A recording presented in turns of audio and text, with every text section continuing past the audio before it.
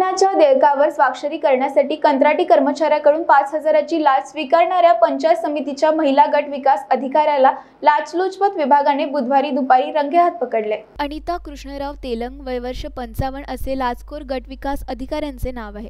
कंत्राटी महिला कर्मचारी स्वाती धनजीवे वयवर्ष पंचवीस चिखली तालुका भिवापूर यांच्याकडून लाचेची रक्कम स्वीकारतात. दबा धरून बस लाचलुचपत प्रतिबंधक विभागाच्या चमूने छापा घालून त्यांना अटक केली दुपारी दोन वाजताच्या सुमारास गट विकास अधिकाऱ्यांच्या दालनात कारवाई करण्यात आली आहे. या घटनेने पंचायत समिती वर्तुळात मोठी खळबळ उडाली आहे. स्वाती धनजीवे या कंत्राटी कर्मचारी म्हणून पंचायत समितीच्या घरकुल विभागात कामावर आहेत. त्यांचे व एक अन्य कंत्राटी कर्मचाऱ्यांचे या दोघांचे मिळून सहा महिन्याच्या मानधनाचे एक लाख एक हजार चारशे तीन रुपये शासनाकडून घेणे होते. हे पैसे मिळावे यासाठी स्वाती धनजीवे यांनी गटविकास अधिकारी अनिता तेलंग यांची भेट घेऊन मानधन मिळवून देण्याची विनंती केली होती. परंतु देयकावर स्वाक्षरी करण्यास तेलंग यांनी नकार देत पाच हजार रुपयांच्या लाचेची मागणी केली. ही रक्कम द्यायची इच्छा नसल्याने स्वाती धनजीवे यांनी नागपूर येथे लाचलुचपत प्रतिबंधक विभागात तक्रार नोंदविली. तक्रारीची शहानिशा केल्यानंतर एसीपी अनामिका मिर्झापुरे यांच्या मार्गदर्शनात आज दुपारी पंचायत समिती कार्यालयात सापळा रचण्यात आला. तेलंग यांनी स्वाती धनजीवे यांच्याकडून लाचेची रक्कम स्वीकारताच लाचलुचपत विभागाच्या अधिकाऱ्यांनी तेलंग यांना ताब्यात घेत त्यांच्याकडून पाच हजाराची रोख जप्त केली आहे नागपुर इज़ फ़ेमस फॉर संतरे टाइगर ज़ीरो माइल और साउजी खाना।